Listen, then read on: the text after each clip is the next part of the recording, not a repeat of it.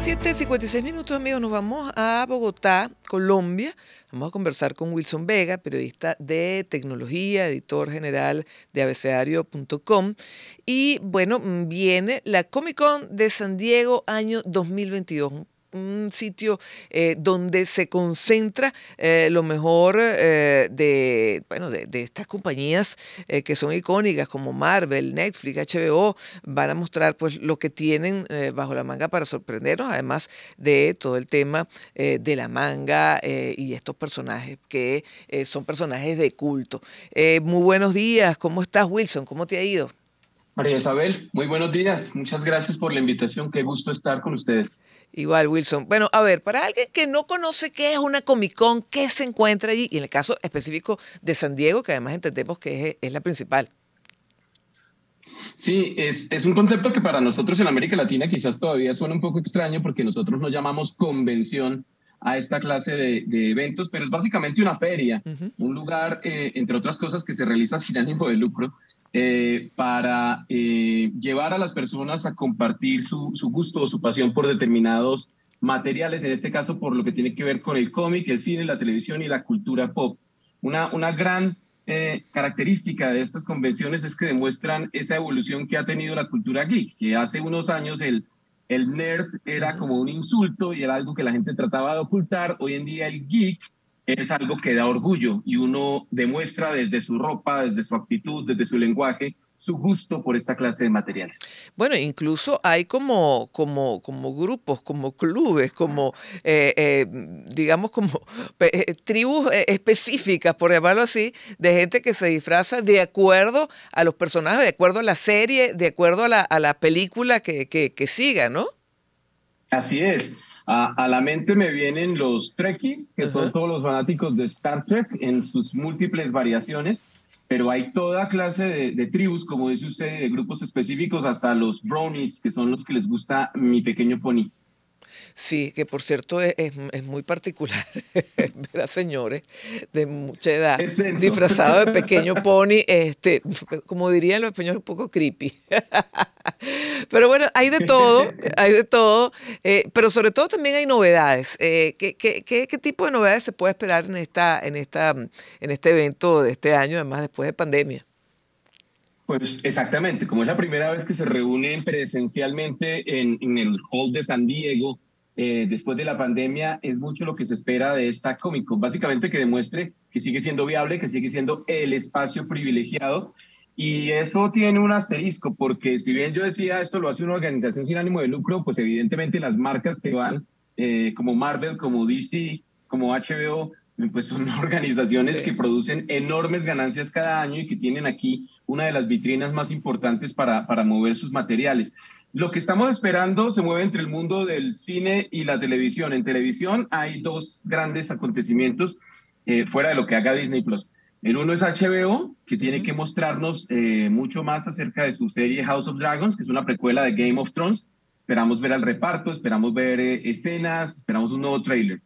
Y la contraparte de eso es Prime, Amazon Prime, eh, que seguramente nos va a mostrar más de Rings of Power, la serie basada en el universo del Señor de los Anillos. Ya en el mundo del cine, eh, la pelea básicamente es Marvel-DC. Eh, DC tiene dos estrenos muy importantes y muy cercanos, de los que seguramente va a mostrar más cosas. Esperamos ver ya por fin un tráiler de Shazam 2, del que no hemos visto nada, sino un pequeño teaser que realmente no mostraba nada. Y esperamos más de Black Adam, la, la cinta en la que eh, The Rock, Dwayne Johnson, eh, interpreta a un antihéroe del, del mismo universo de, de Shazam. Pero entre esos dos está flotando la posibilidad de que veamos a Henry Cavill eh, llegar a anunciar que vuelve a ser Superman. Si eso fuera, DC golpearía muy fuerte en esta Comic Con. Sí, y, Marvel también tiene anuncios. Disculpe. No, no, no. Por favor, concluye la idea. Marvel también tiene anuncios, pero el tema es que Marvel es de Disney y Disney tiene su propia convención, la D23, en septiembre. Entonces, Disney siempre guarda algunas cosas, pero por lo pronto, lo mismo, lo que viene más cerca. Mostrarán algo de Wakanda Forever, que es Black Panther 2, mostrarán algo de, de Marvel, y mostrarán muchas cosas, eso sí, de su servicio de streaming Disney Plus, comenzando por toda la oferta que tienen en, en, animación, incluyendo, que esto a mi hijo le encanta, Marvel Zombies. ¿Cuál es el peso de, de todo el tema de, de, de, la manga, de los otakus en, en un evento como esto? Mire que es muy importante y en los pabellones eso se nota.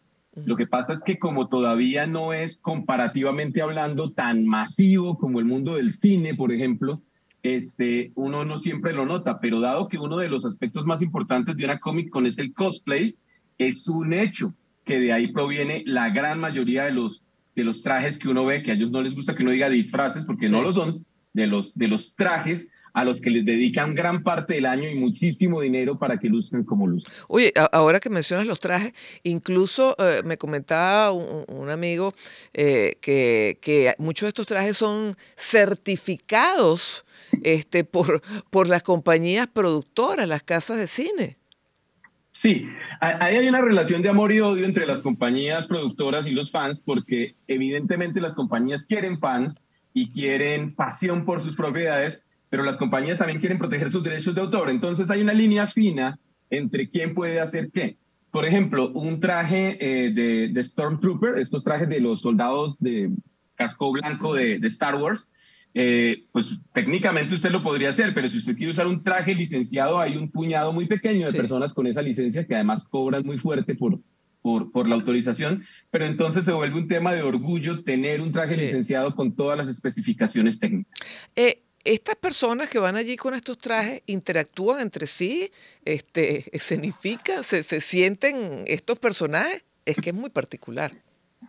Sí, de, hecho lo que es es un espacio de interacción porque eh, incluso quienes están sentados en un hall como el Hall H viendo un trailer, eh, están en sí mismos experimentando una, una actividad grupal, pero en los pasillos, como lo estamos viendo en esas imágenes de apoyo, eh, perfectamente usted cruza una Blancanieves con un Darth Vader y se toma una foto, un Spider-Man con, una, con un personaje de alguna cinta de anime. Es eh, además, es lo que hablaba al comienzo, el gusto, el respeto, el orgullo por esta pasión que nos une.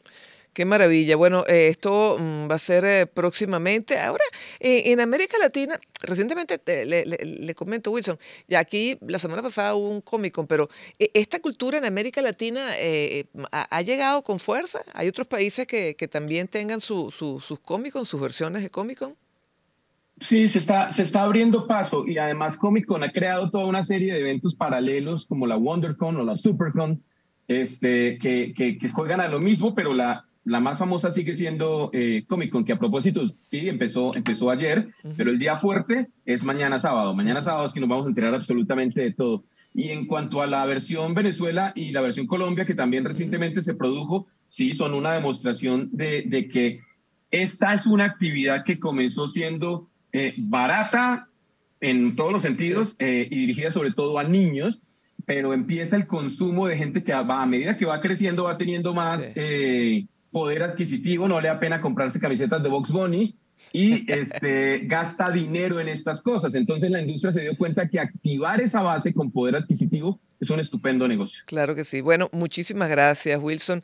Hay que estar pendiente entonces mañana para estos anuncios. Periodista de tecnología, editor general de abecedario.com. Eh, vamos a esta hora a hacer una nueva pausa. 8 o 5 minutos. Continuamos con todos ustedes aquí en A Tiempo.